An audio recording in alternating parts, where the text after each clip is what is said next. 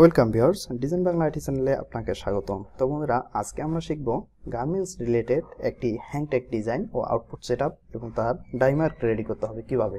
তো আসলে আমরা যারা প্রিন্টিং প্রেসের ডিজাইনার রয়েছি, তাদের জন্য এই ভিডিওটা খুবই গুরুত্বপূর্ণ। কারণ আপনি যখন একটি প্রোডাক্ট সেটআপ দিতে যাবেন, তখন আপনাকে সব কিছু মেনটেন করে দিতে হবে। কারণ আপনি যদি এখান থেকে ঠিকভাবে প্রসেস করে না দেন, পরবর্তীতে যে সেকশনে যাক না কেন সব কিছুই ভুল আকারে চলে যাবে। সেই জন্য আপনাকে অবশ্যই তার কালারটা কীভাবে দিবেন, তার সলিড কতটুকু রাখবেন, না রাখবেন এবং ডাইমার কতটুকু গ্যাপ রাখবেন, না রাখবেন সেট আপ দেবেন কতটুকু, কোন সাইজে সব কিছু আপনাকেই মেনটেন করতে হবে। কারণ আপনার এখান থেকেই তার কাজের উৎপত্তি মানে একদম উৎপাদনের কাজ আপনার এখান থেকে শুরু। জন্য আপনাকে অবশ্যই এই সমস্ত কাজগুলো মেনটেন করে কাজটা করতে হবে। দেখুন, সর্বপ্রথম আমরা এখানে ফলো করব কি? আমার ডাইমার বায়ার কিন্তু আমাকে ডাইমারটা ঠিক এভাবে দেখাই দিছিল যে এভাবে কাজটা করতে হবে। তো সেই সুবাদে আমি কিন্তু এভাবে এই যে ডাইমার্কটা ড্রয়িং করেছিলাম। ডাইমার্কটা ড্রয়িং করার পর যেহেতু আমি দেখলাম, এটা হচ্ছে আমার একটা ডাই কাটিং এর প্রসেস যেহেতু আঁকা পাকা কাজ, এটা প্লার কাটিং বা পেপার কাটিং মেশিনে কাজ হবে না, সেক্ষেত্রে আমাদের এটা করতে হবে কি? একটা ডাইকাট মেশিনে হ্যান্ড ডাইকাট অথবা অটো ডাইকাট যেটা হোক মেশিনে কাটতে হবে। তাহলে সেক্ষেত্রে আমাকে কিন্তু এটা একটা ডাই পজিটিভ ছাড়তে হবে এবং পজিটিভ ছাড়ার জন্য অবশ্যই আমরা জানি যে পজিটিভ ছাড়তে গেলে বা ডাইমার্ক কাটিং থাকলে সেখানে আমাদের দুই মিলি করে অফার দিতে হয়।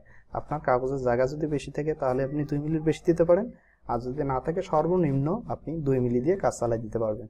তো দেখুন আমি একটা দুই মিলি ওভার নিতেছি।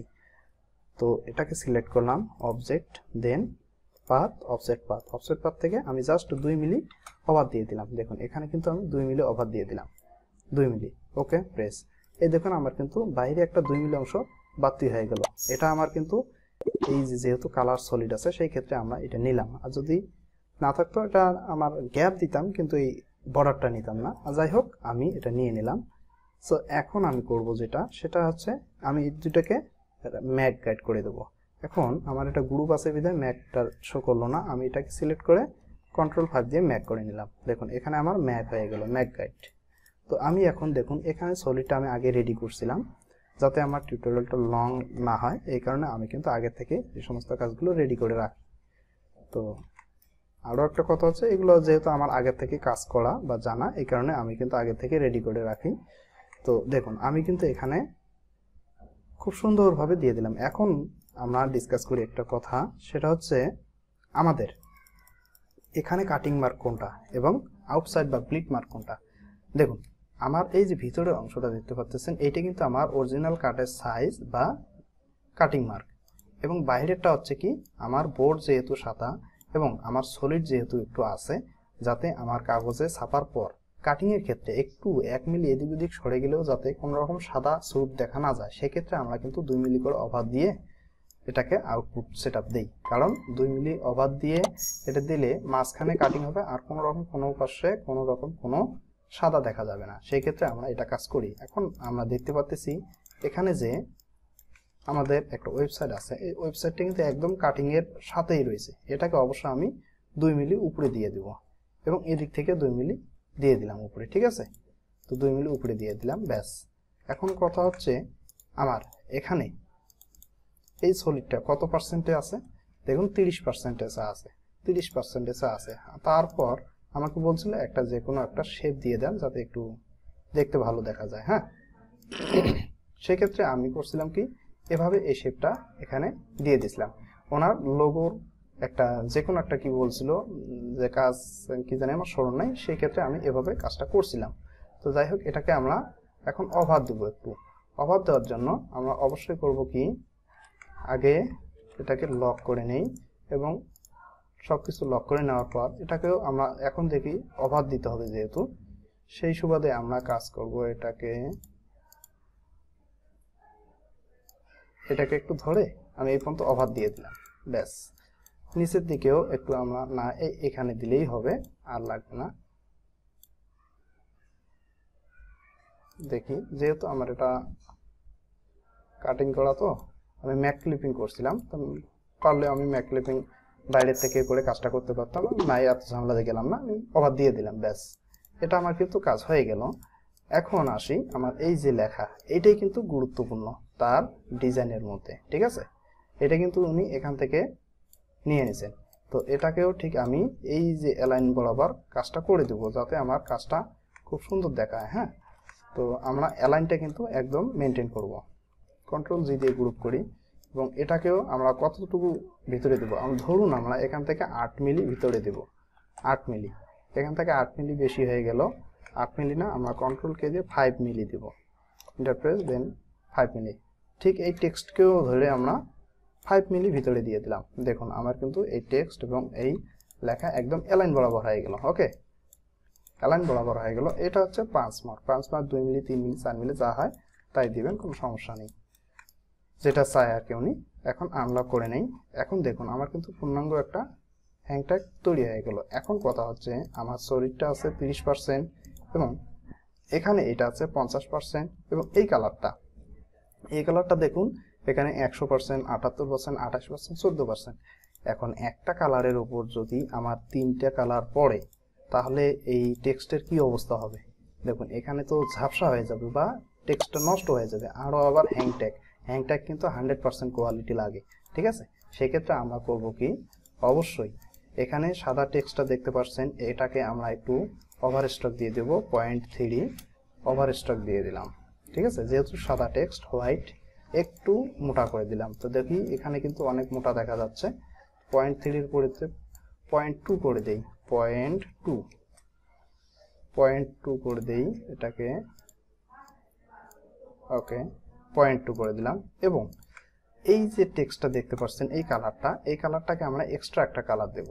এক্সট্রা কালারে পরিণত করব। দেখুন, আমি নিউ সোর্সেস থেকে এক্সটি আর এ এক্সট্রা এক্সট্রা কালার সিতে কালার স্পট দেন ওকে এখন আমি দেখি এখানে একটা এক্সট্রা কালার তৈরি করলাম। দেখুন, আমার কিন্তু এখন দুইটা প্লেটে হয়ে যাচ্ছে। কিন্তু এর পূর্বে আমরা দেখলাম কি, চারটা কালার ছিল এই কালারটা এই কালারটা ছিল চারটা কালার চারটা কালারের পরিবর্তে আমরা একটা কালারে তৈরি করলাম এক্সট্রা কালার দেখুন এখন এক্সট্রা ওয়ান একটা, এই দুইটা। ব্যাস, আমাদের দুইটা কালারে এই প্লেটটা হয়ে যাচ্ছে। এখন কথা হচ্ছে কাট আউটটা দেখি কাট আউটটা আমাদের কি মিসিং করা যায় কিনা। তো এটা হচ্ছে আমাদের, তবে কাট আউট থাকলে আরও ভালো। যেহেতু এটা এক্সট্রা কালার ছাপা হবে কাট আউটটা থাকলে খুব সুন্দরভাবে কালোটা এই কালারটা গাঢ় হবে। তো দেখি আমরা এটাকে একটু কাট আউটটা ফিনিশ দেওয়া যায় কিনা ট্রিবিউট অপশনটা নিয়ে আসলাম আমি উইন্ডো মেনু থেকে। তারপর এখানে এই যে ওভারপ্রিন্ট ফিল দিয়ে দেখি যে কি কাজটা দাঁড়ায়। এখান থেকে দেখি, ওকে। দেখুন, এখন কিন্তু আর আমার কাট আউটটা দেখা যাচ্ছে না, ঠিক আছে? আপনি চাইলে কাট আউটটা ফিনিশ করে দিতে পারেন মানে এখান থেকে আউট করে দিতে পারেন। তাহলে দিলেও ভালো সমস্যা নেই, কারণ যখন আপনি প্লাগ ছাপবেন তখন এভাবে দেখবেন এবং তারপর এই এক্সট্রা কালারটা খুব সুন্দরভাবে অ্যালাইন করে এটা প্রিন্ট করলেই হয়ে যাবে। যেহেতু এখানে দুইটা প্লেটের কাজ হচ্ছে, আর যদি আপনি কাট আউটটা না দেন, তাহলে কিন্তু আপনাকে অবশ্যই অ্যালার্ট থাকতে হবে এবং ঝামেলা হবে। আমি মনে করি আপনারা কাট আউট দিয়েই কাজটা করবেন। কাট আউটটা ফেলে দিবেন, দেখুন কাট আউট ছাড়া কত সুন্দর। এটা একটা প্লেট হবে, এটা একটা জাস্ট প্রিন্ট হবে। ব্যাস, হয়ে গেল। তাহলে আমরা এখন সেট আপে যাই। এটাকে আমি কন্ট্রোল জি দিয়ে গ্রুপ করে নিই। গ্রুপ করে নিয়ে আমরা এখন সেট আপ দিব একটা এগারো চোদ্দ। যেহেতু এটার কোয়ান্টিটি একটু কম, সেক্ষেত্রে আমরা এগারো চোদ্দ আট কাটে প্রিন্ট দেবো, চোদ্দ সরি এগারো চোদ্দ। তাহলে আমাদের আট কাট সাইজ হচ্ছে বাইশ, আঠাইশ। বাইশের অর্ধেক এগারো এবং চোদ্দোর আঠাশের অর্ধেক চোদ্দ। তাহলে আমরা এটাকে সেট আপ দেবো এগারো চোদ্দ। এগারো চোদ্দ সেট আপ দিতে গেলে অবশ্যই আমরা দেখি কোন দিকে আমার কতটুকু আসে। এটাকে আমরা একটু ঘুরাই নিই। ঘুরাই নেওয়ার পর এটাকে দেখি, এদিকেও একটু দেই। দেখুন, এখানে কিন্তু আমার এই গ্যাপের মধ্যে এইটা ঢুকাই দিলে সুন্দরভাবে কিন্তু হয়ে যাচ্ছে। এখন আমরা একটা কাজ করতে পারি। আমরা এখানে কিন্তু দুই মিলি করে আগে ওভান দিয়ে নিছি। তো সেক্ষেত্রে আমরা এই যে এই মার্কটাকে মিলাই দেব। ব্যাস, এখানে। এখন আমরা দেখি কয়টা হয়, না হয়।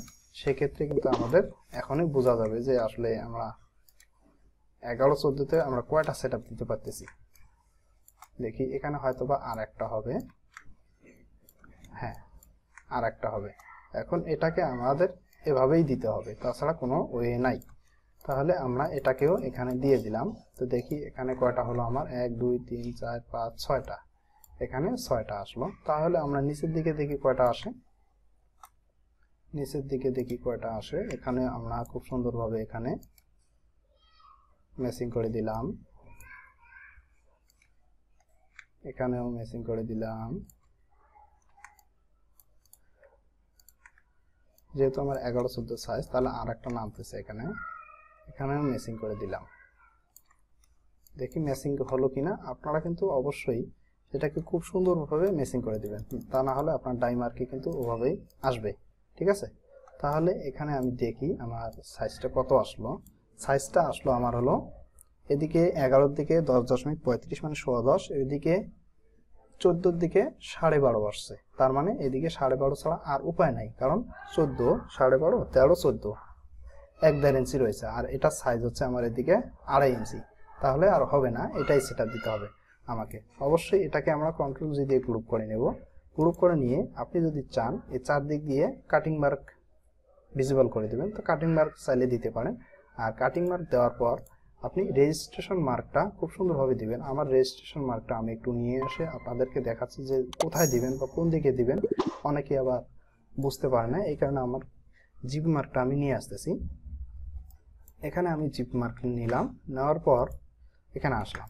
তো দেখুন, এখানে আসার পর জিপি মার্কটা হলো এই। আমার আগের থেকে ডেমো বানানো থাকে। আমার যেহেতু দুইটা কালার দুইটা কালারের প্রিন্ট হয়ে যাবে, এইটা হচ্ছে রেজিস্ট্রেশন মার্ক অবশ্যই আপনাকে রেজিস্ট্রেশন মার্কটা অ্যাপ্লাই করতে হবে।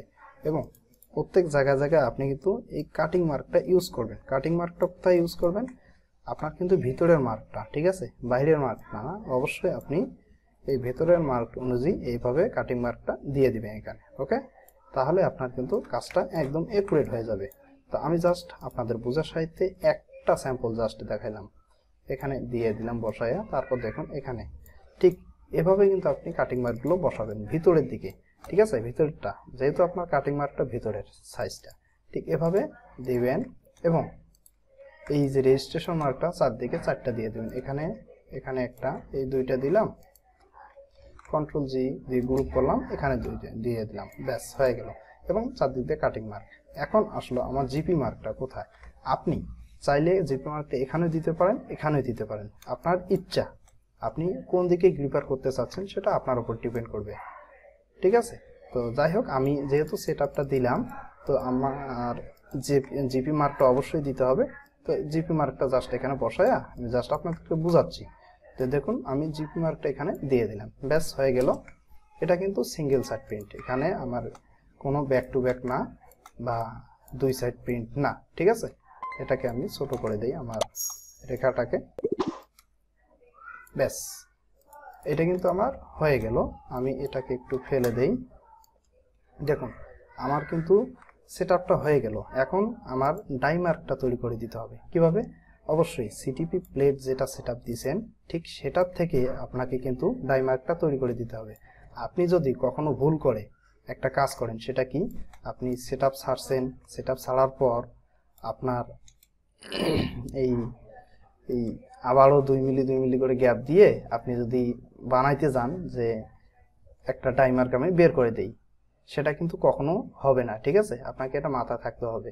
অবশ্যই আপনি যেই সিটিপি প্লেটটা সারছেন, যে সেট থেকে, সেটার থেকেই কিন্তু আপনাকে এই দিতে হবে আপনার টাইমারটা তাছাড়া কিন্তু আপনার কিন্তু একদম মেজর একটা ভুল হয়ে যাবে এবং পরবর্তীতে দেখবেন কোনো রকম কোনো কাজ মিলবে না। এখান থেকে আমি জাস্ট দেখুন লক করলাম। লক করার পর এখানে আমি সব কিছু ফেলে দেব। জাস্ট আমি রাখব কি? আমার টাইমার্কটা ডাইমার্কটাই আমার প্রয়োজন। তাছাড়া আমার এখানে কোনো কিছু প্রয়োজন নাই। তা আমি এখান থেকে সব কিছু ফেলে দিচ্ছি। এখানে টেক্সট টুক্সট বা ডিজাইন যতগুলো আছে, সব কিছু আমি ফেলে দেব। আমার এগুলো দরকার নেই তো। খালি দরকার আছে আমার এখানে সরি আমার সব কিছু পড়ে গেছে। দেখি এখান থেকে সব পড়ে যাচ্ছে। যাই হোক, আমি এটাকে ফেলে দিলাম। এই ভিতরের একটা পড়ে গেছে। আমরা আবার একটা আন্ডু দেই। যেহেতু আমার ম্যাক ক্লিপিং করা কাজ সেই ক্ষেত্রে আমার কিন্তু এখান থেকে পড়ে যাচ্ছে। এখান তো আমি এখানে ফেলে দিলাম। ব্যাস, এবং নিচেরগুলো একটু ফেলে দেওয়ার চেষ্টা করি। ওকে, হয়ে গেল। এখন আমি যেটা করব, সেটা হচ্ছে আমার ডাইমার্কটা ভিজিবল করতে হবে। তো ডাইমার্ক আমার কোনটা? অবশ্যই ভিতরেরটা। আমার বাইরেরটা করে কিন্তু ফেলে দিতে হবে। আমি বাইরেরটা ফেলে দিচ্ছি। দেখুন, আপনাকে অবশ্যই কিন্তু বুঝতে হবে যে আপনি কোনটার কাজ করতেছেন বা কোনটা আপনার দরকার এবং কোনটার দরকার নাই। অবশ্যই এটা সেন্সিটিভ থাকতে হবে। যদিও এই কাজটা কিন্তু একদম সিম্পল কিন্তু আমাদের কঠিন বা সব থেকে ঝামেলার যেগুলো কাজ, সেগুলো কিন্তু আমাদের ভুল হয় না। ভুল হয় আমাদের ছোটোখাটো কাজ, কারণ সেগুলোর মধ্যে আমরা গুরুত্ব দিই না। ছোটোখাটো কাজগুলাই কিন্তু ভুল হয় বেশি আমাদের। আমরা অনেক দেখছি। কারণ ছোটোখাটো কাজ করতেছে, আরে এটা কি? এটা দুই এক মিনিটের মধ্যে কাজটা ফিনিশ দিয়ে দেই বা এটা কোনো ব্যাপার না। কিন্তু দেখি সবশেষে ওটাতেই আমাদের ধরা খাওয়া লাগে। আর দেখবেন যেগুলো গুরুত্বপূর্ণ সেন্টিটেক্সার মেটালিক আরও অন্যান্য বড় ধরনের কাজ, সেগুলো গুরুত্ব সহকারে কাজ করি কাজগুলো খুব সুন্দরভাবে হয়ে যায়। ঠিক আছে? এই জন্য কোনো কাজকে অবহেলা করা উচিত না আমাদের। অবশ্যই এটা হতে পারে কাজটা ছোট, কিন্তু একদম কোয়ালিটি ঠিক আছে? অবশ্যই সব কাজেই কিন্তু আপনাকে অ্যালার্ট থাকতে হবে। অন্ততপক্ষে আপনারা যারা ডিজাইনার রয়েছেন তারা কিন্তু এই সমস্ত কাজে অ্যালার্ট থাকবেন, ঠিক আছে? তো স্টক আমি এক দিয়ে দেব।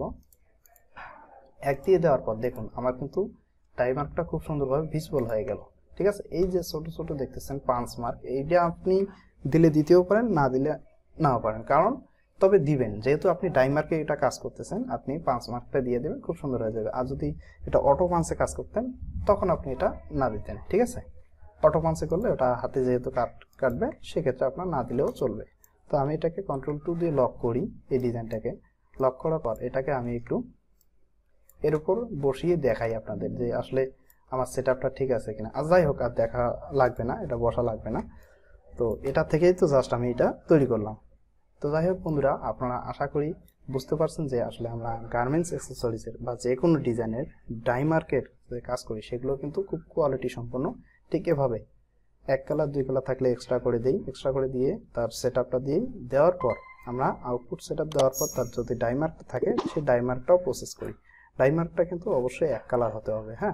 ডাইমার্কটা দেখুন, আমার কিন্তু এটা এক কালার। এই ডাইমার্কটা আমি এক কালার করে দিছি। এটা জাস্ট একটা পজিটিভ বের করবে। পজিটিভ বের করার পর ডাই কাটিং যারা কাট কাটে, তারা কিন্তু এই ডাইটা বানাবে। ডাইটা বানার পর আমরা এটাকে ছাপা শিটটা নিয়ে তৈরি করতে পারব। তাহলে আমাদের কাজটা কিন্তু খুব সুন্দরভাবে আউটপুট রেডি হয়ে যাবে। তো যাই হোক বন্ধুরা, আশা করি আপনারা এই কাজটি বুঝতে পারছেন। আর পরবর্তীতে আর কী ভিডিও চাচ্ছেন সে সম্পর্কে কমেন্টে জানিয়ে দেবেন। আমি আস্তে আস্তে সেই সম্পর্কে ভিডিও বানানোর চেষ্টা করব। তো ধন্যবাদ, ভালো থাকুন, সুস্থ থাকুন গুড বাই